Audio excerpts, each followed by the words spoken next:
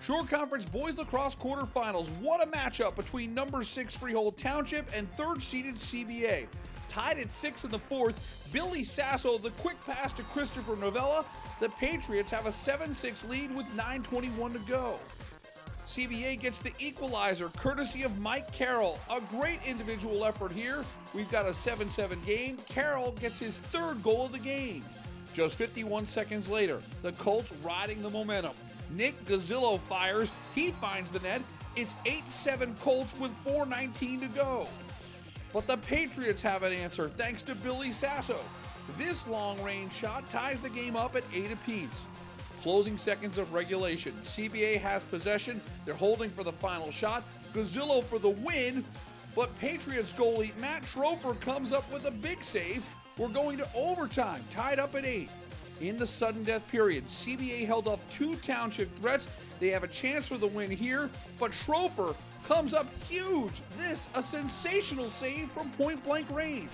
It sets the stage for the heroics. Final minute of the first OT, Billy Sasso makes the move and delivers the walk-off winner. With just 16 seconds to go, Sasso's fifth goal of the game gives the number six seed an upset and a spot in the Shore Conference semifinals. 9 to 8, Freehold Township prevails in overtime over CBA in a great high school lacrosse game. SSE talked with the Patriots about the emotional triumph. Big moment. We had uh, a bunch of our, our fans come out from uh, Freehold Township, seeing them there, hearing them cheering. It's just a great, a great feeling out there. It's a great atmosphere, and to come out on top is just the best feeling in the world. I saw the clock. We had 40 seconds left, so I wanted to hang on to it to the last 25 seconds. So I started to make my dodge. Once I started dodging, I just said go for goal and just look for any opening I could take.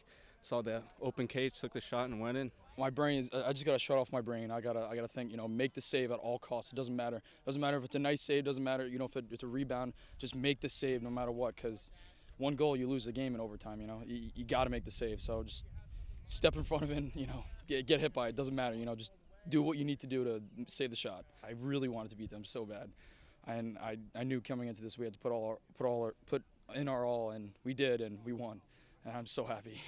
For more Jersey Shore sports, log on to shoresportszone.com.